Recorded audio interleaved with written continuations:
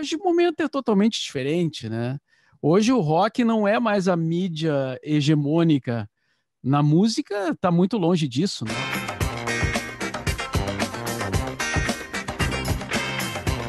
Influi, né? É, não é só a rádio que tu faz, o conteúdo que tu emite, né? Tem a questão também do, do, momento histórico, da conjuntura, como se diz, né? Uma palavra bem política, assim, né? Mas é, é, é, é isso mesmo. Aquele momento, isso estou falando do, do, dos anos 80, né?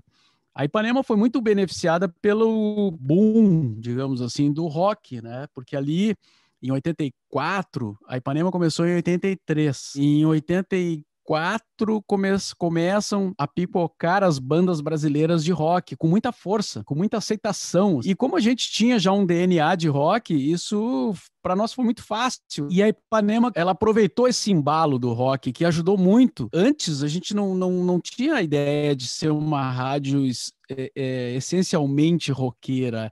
A gente tocava de tudo, né? Tocava muita música brasileira também, assim, que eu digo que não é rock. Mas foi no rock que a gente achou, assim, um grande aliado, né? De, de... Porque era uma coisa que, que veio com muita força, assim. Aquilo foi um furacão, assim, estourou, a, a, as pessoas só queriam ouvir aquilo e e foi uma coisa instantânea, assim, né? Então, todo mundo cresceu junto, né? O rock, a Ipanema e as bandas. Então, isso ajudou muito, né? E, e hoje o momento é totalmente diferente, né?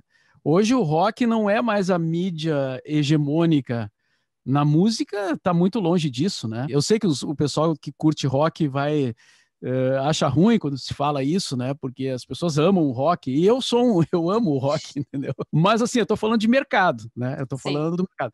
Se a gente é pegar, um fato. é um fato, é.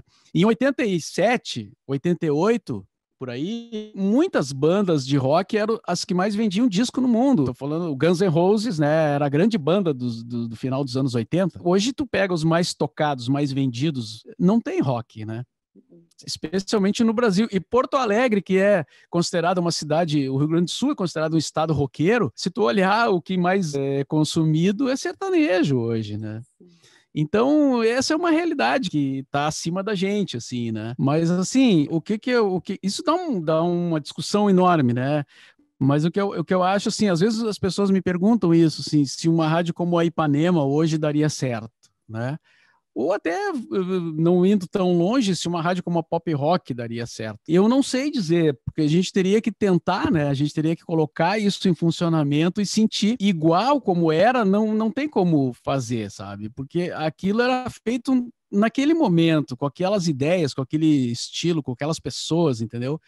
Se, se a gente pegasse hoje as pessoas que fizeram a Ipanema, né? Eu, a Kátia, uh, enfim, tantos outros, o Vitor Hugo, o Jimmy Joe, várias pessoas que inclusive hoje não estão fazendo rádio, né? A Nara Sarmento. Nós todos já estamos, digamos que não somos mais jovens, né? Então, como seria isso, né? A Ipanema mesmo, ela, ela acabou também porque ela envelheceu junto com o público. Sim. E, e hoje a gente não falaria mais para adolescentes, né?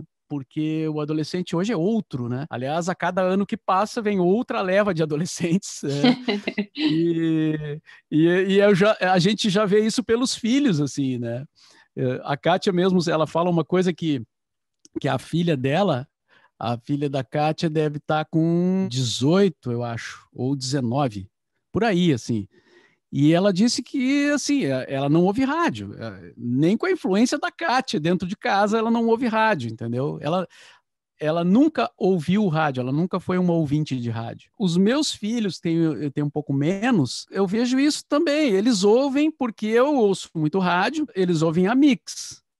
Né? Eles não ouvem uma rádio, porque a Mix tem um conteúdo mais adequado para um público mais jovem, né? Uhum. E, eles, e eles gostam, mas eles não têm relação com o rádio. Por exemplo, essa relação que a gente tem, que eu tive, né? De ligar o rádio, né? De estar tá sempre com um rádio por perto. Isso eles não têm. Eles não têm. Eles nem sabem como é que ligam um rádio, né? Eles ouvem no carro, quando estão dentro do carro. Aí eles, eles curtem até.